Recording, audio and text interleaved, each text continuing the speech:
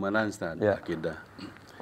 Ini akhir-akhir ini muncul eh, bahkan di daerah Timur Tengah nih, eh, ateisme dan agnotisme. Ya. Dan ini pun eh, yang menjadi heran ini di negara yang konon eh, Islamnya kuat gitu ya. Iya, iya. Tetapi di Indonesia pun sama tuh. Di Indonesia di kalangan mahasiswa mereka beragama tidak bertuhan dan Bertuhan juga nggak agama. eh, Bertuhan tapi nggak beragama. ya bertuhan tidak beragama betul. Di samping ada juga yang ateis tidak bertuhan sama sekali. Nah ini eh, gejala apa? Kenapa itu muncul? Eh, sehingga kalau di macam syiah itu kan mutlak dengan dengan akal tuh, dengan pikiran nih. Iya. Eh, Jadi pertanyaannya, kenapa itu muncul? Apakah barangkali malas berpikir atau karena lihat umat umat beragama yang tidak konsisten atau eh, kenapa masalahnya? Cak? Iya, Terima kasih. Ustaz. Oke. Ya, eh, munculnya gejala ateisme atau agnostik barangkali ya. Apa ateis? Yang tidak percaya adanya Tuhan. A tidak. Teis tadinya Tuhan, tidak bertuhan.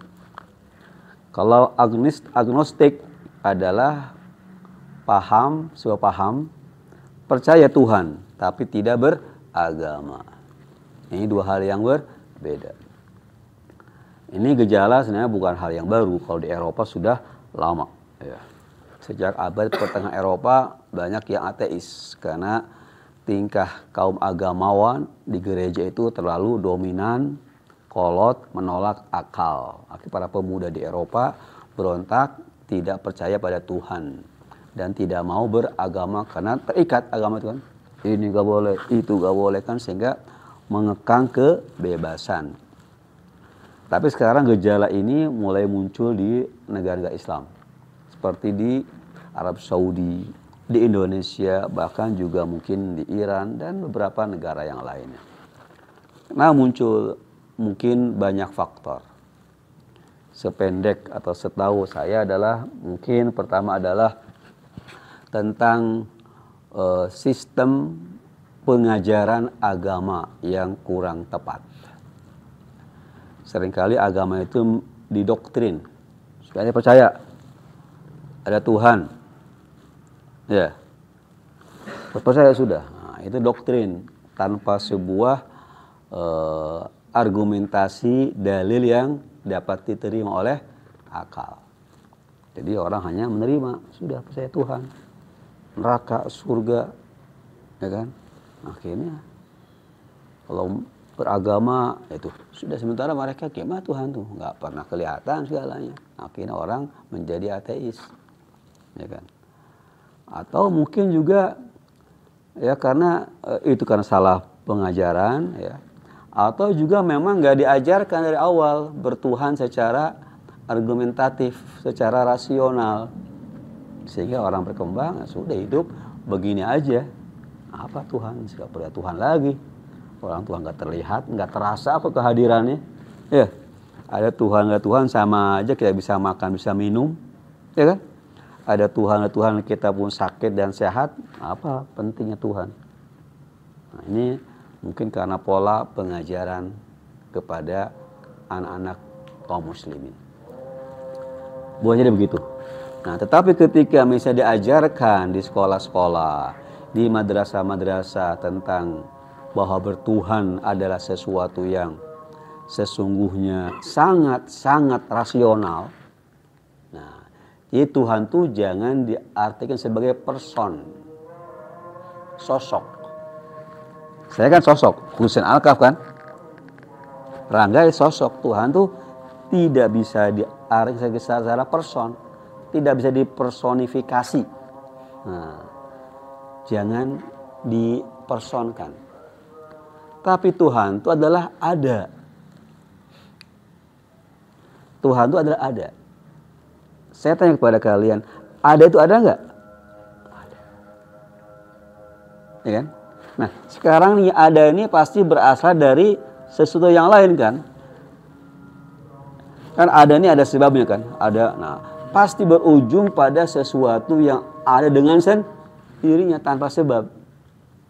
Jadi Tuhan tuh ada ada yang pasti.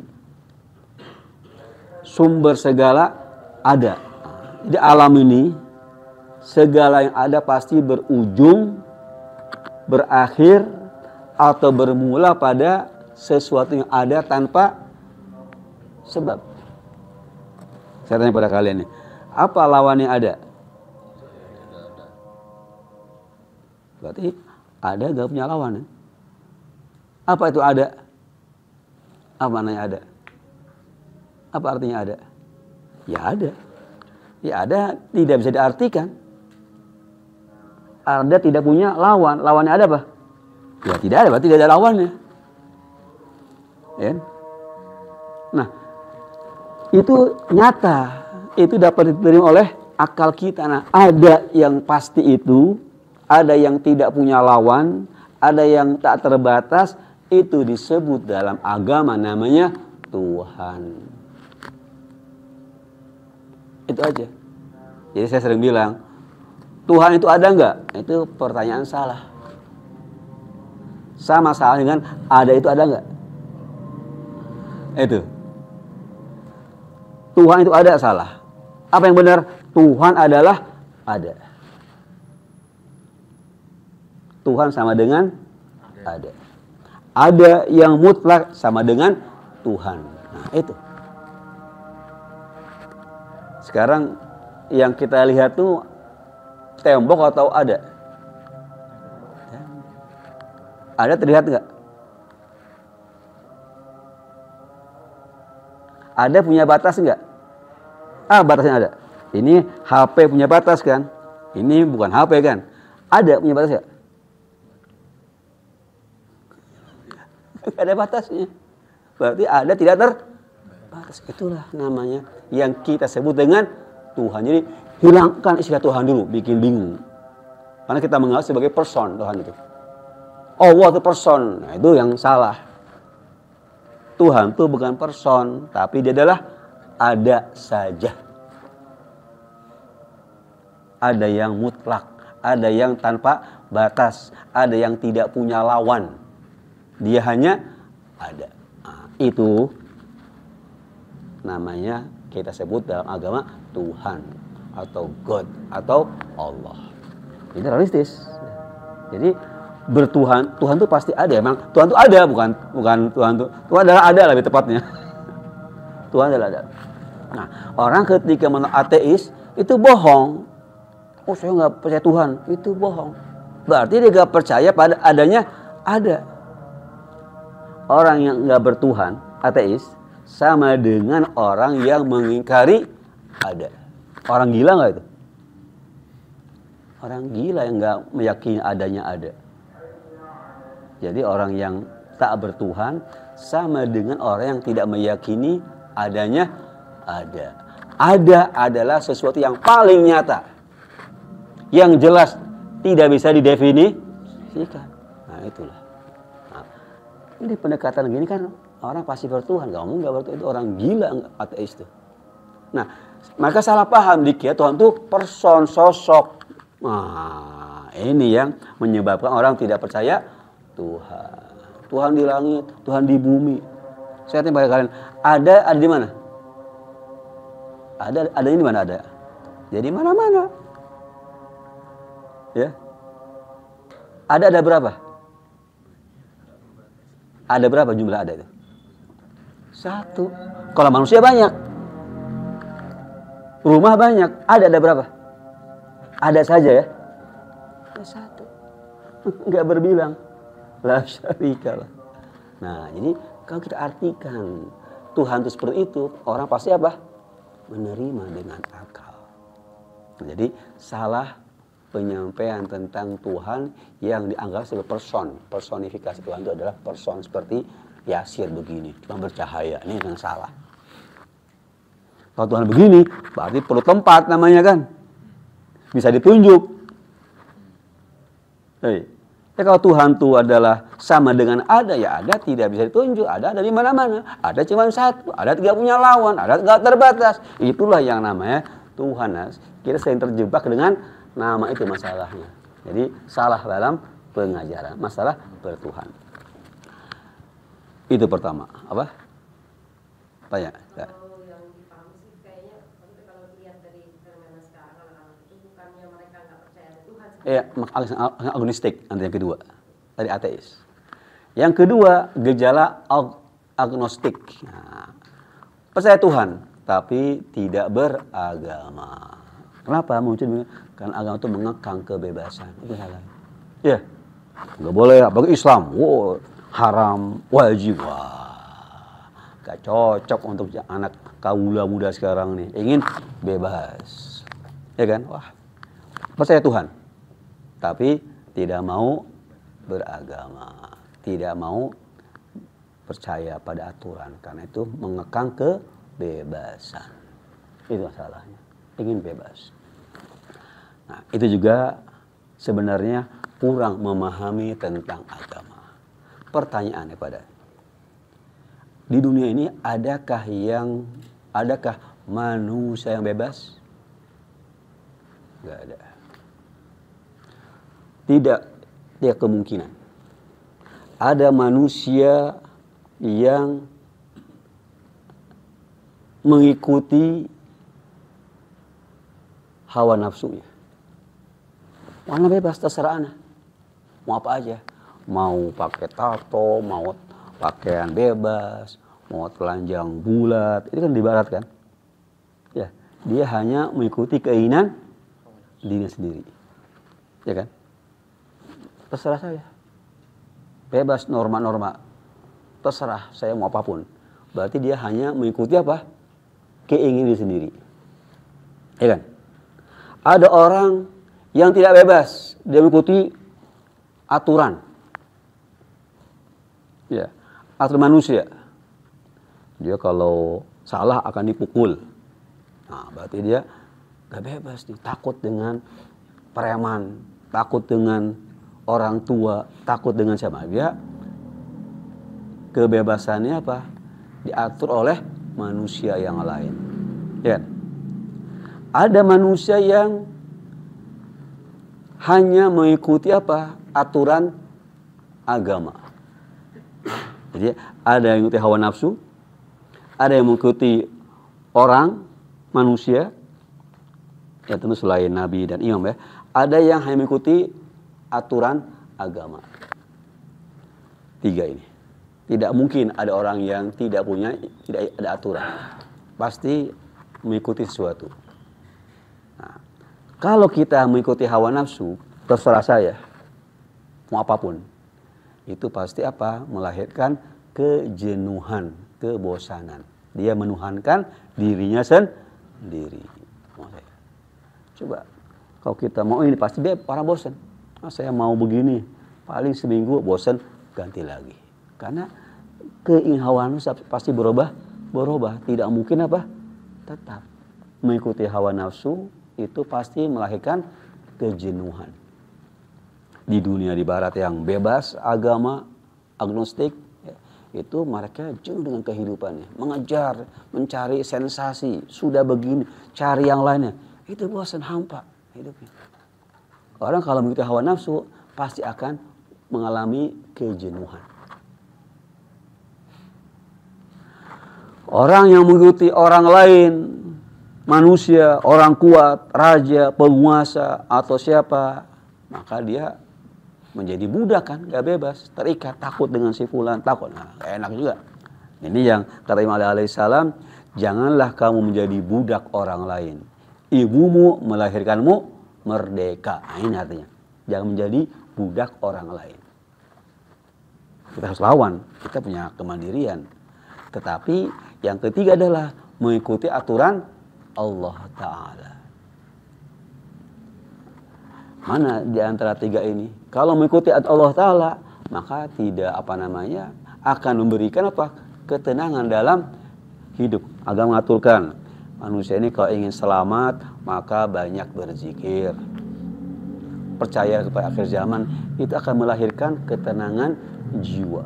Orang yang membudakkan dirinya di hadapan Allah Ta'ala, maka dia akan merasa tenang.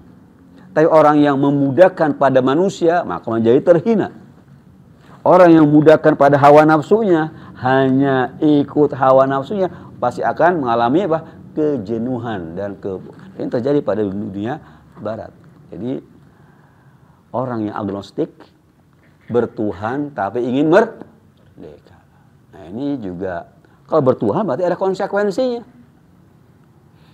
Nanti pada Tuhan pencipta ada konsekuensinya. Harus mematuhinya, mengikutinya. Baru benar bertuhan. Kalau hanya bertuhan tanpa agama berarti itu nggak bertuhan namanya. Bertuhan tapi terserah saya. Berarti menuhankan dirinya sendiri. Hanya mengikuti hawa nafsunya. Nah itu aja pilihan-pilihan. Nah ini muncul ini karena apa? Pola pengajaran yang kurang pas. Misalnya Arab Saudi, kan doktrin tuh Arab Saudi nggak pernah pakai akal. Sudah pakai Tuhan orang. Kedua juga faktor munculnya agnostik apa? Karena fakta kaum muslim itu apa? Miskin, ya perang terus ya. Mana perang terjadi di Timur Tengah? Nah, negara miskin juga banyak kaum muslimin. Mana agama tidak menjamin apa? Kedamaian. Tidak menjamin kesejahteraan. Buktinya orang Islam miskin-miskin, bodoh-bodoh. Lihat orang barat. Maju-maju. Damai. Pada mereka tidak beragama. Ini juga penyebab orang apa? Tidak beragama. Karena faktanya negara kaum orang-orang yang beragama pasti miskin. Hatta di Islam, di Amerika Latin, di Argentina, El Salvador, Brazil, Venezuela itu orang beragama, Katolik. Ah, buktinya mundur. Ya. Jadi negara-negara beragama, baik agama Kristen atau agama Islam, rata-rata apa? mundur ya. Lihatlah Eropa Barat yang nggak bertuhan atau bebas, maju nggak? Bersih, makmur, sejahtera. Ah. Padahal menunjukkan agama itu membuat menyebabkan kemunduran. Iya kan? Nah, ini masalahnya adalah banyak faktor. Mengapa negara-negara beragama, baik agama Islam atau Kristen mundur, itu banyak faktor. Pertama, salah paham tentang agama. Kedua, ada sebuah grand design, ada sebuah rekayasa besar untuk memojokkan negara yang beragama. Ini ada faktor eksternal, luar, ada faktor internal. Internalnya ya salah paham agama. Agama kayak doktrin, ya akhirnya ya agama an-nadhafatu minal iman. Buktinya apa? Negara Islam kotor-kotor. Kamar-kamar asrama kotor-kotor juga. Karena salah didik. Ya kan? Mana? Sampah-sampah di mana-mana. Katanya, Allah iman. Jangan mencuri haram dosa. Banyak pencuri. Jangan korupsi agama. Tanya banyak koruptor. Negara Islam semua kan? Jadi praktek mereka bertenang dengan agama nih. Karena berarti agama tidak masuk dalam hati mereka. Salah didik lagi, hanya doktrin aja. Enggak ada agama itu ada pembiasaan, dibiasakan. Kesadaran, nah itu dibiasakan. Baru. Kalau agama hanya doktrin saja, ya percuma, hanya di sini, tapi di hati enggak. Ada ini masa. Ini faktor internal. Eksternalnya ada upaya di luar sana untuk memojokkan, memundurkan negara-negara yang beragama baik agama Islam maupun agama Kristen. Nah, ketika muncul sebuah negara yang mencoba mempraktekkan Islam dengan baik seperti Iran dihabisin. Mau maju nih Iran. Ini sejahtera diganyang. Nah, berarti ada faktor kan ya? Ya kan? Ada sebuah negara yang sadar Islam dipraktekkan untuk sehari-hari itu dihancurkan sekarang. Gak boleh ada negara Islam seperti Iran. Bahaya. Kalau bisa, uh, berarti agama bisa menyelamatkan. Bisa menciptakan kesejahteraan. Nah, ini diganyang terus. Diperangi selama 8 tahun. Diboykot. Mau bikin nuklir untuk kesejahteraan. Dicurigai ingin bikin buat senjata nuklir. Jadi ada faktor eksternal. Sengaja tidak boleh ada sebuah negara agamis maju. Kalau Saudi didukung, ya kan? Karena apa? Tidak ingin mandiri. Nah, jadi dua faktor tadi. Imam internal salah didik pengajaran agama, kedua faktor eksternal muncullah kemunduran kaum muslimin sehingga para pemudanya mendingan tidak beragama daripada beragama yang ribut dulu. Nah, ceramah tiap hari ada tapi tetap aja banyak koruptor ya. Ramadan ceramah-ceramah banyak pencuri. Kebersihan iman ternyata jorok-jorok kaum muslimin. Nah, ini karena salah pendidikan dan salah pengajaran. Oke. Oh, saya kira kita akhiri. Wassalamualaikum warahmatullahi wabarakatuh. Waalaikumsalam warahmatullahi wabarakatuh.